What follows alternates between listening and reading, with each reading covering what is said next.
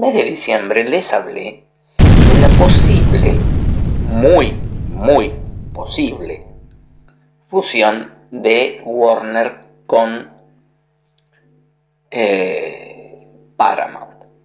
Pero, como les dije también en ese momento, eso era algo realmente complicado, sencillamente por las estructuras de ambas compañías. Este, y eso hizo que demás compañías que están, que están en el circuito de Hollywood vieran que en este momento Paramount está con necesidades económicas y sobre todo con necesidades de mantener un servicio que viene siendo deficitario como es Paramount Plus. Y por lo tanto se acercan a tratar de conseguir la mejor tajada posible de la compañía. En estos momentos han habido conversaciones con una vieja conocida de la franquicia.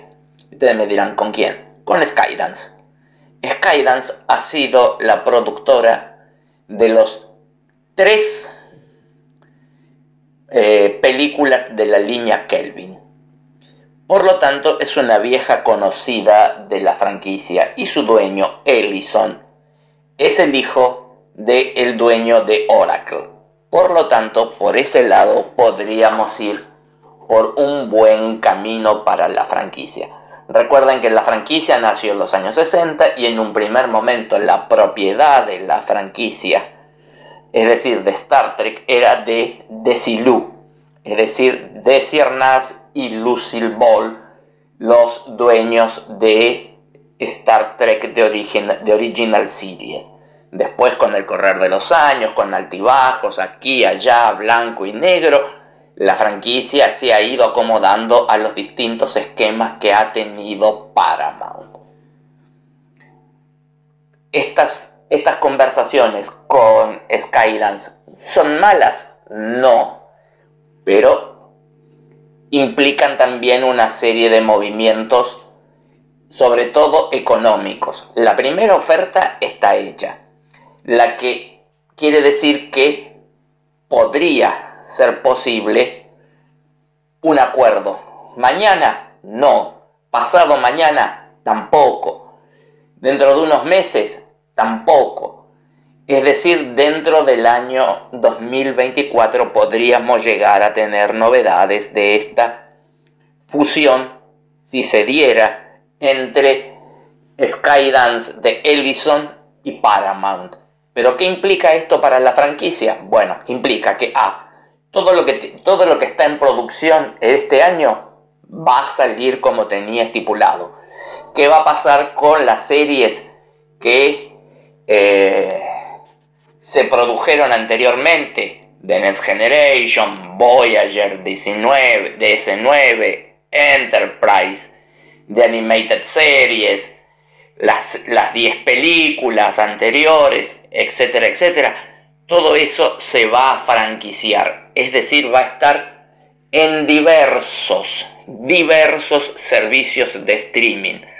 Hoy por hoy podemos encontrar parte de las películas en Max. Tenemos a Prodigy en Netflix que se va a emitir próximamente. Y por ahora, el resto de lo que queda estaría dentro de Paramount Plus. Pero ¿qué, ¿qué va a pasar con Paramount Plus una vez que se haga la fusión? Bueno, ahí la cosa se complica y un poquito y aquí y esto es importante entender. Se complica porque podría tener el mismo esquema que tiene hoy en día, es decir, franquiciar cosas a diversos servicios de streaming.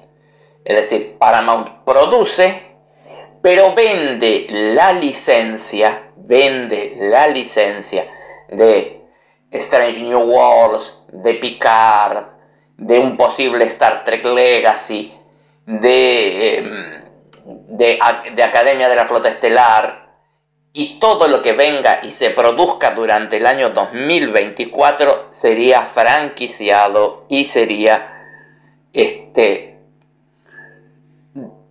propiedad de la idea Paramount, pero propiedad para sacarle partido del nuevo servicio de streaming. ¿Esto es malo? No, no es malo.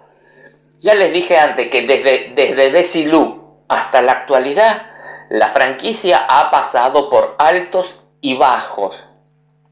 Y siempre hemos tenido algún producto de Star Trek. No tenemos que volvernos locos por eso. Simplemente los fanáticos tenemos que disfrutar, ver las series, darle rating y eso va a hacer que podamos disfrutar de todo lo que disfrutamos habitualmente, de los actores en las convenciones, de merchandising, de películas, de libros, etcétera, etcétera, etcétera. Por ahora, la mejor oferta la viene haciendo Skydance.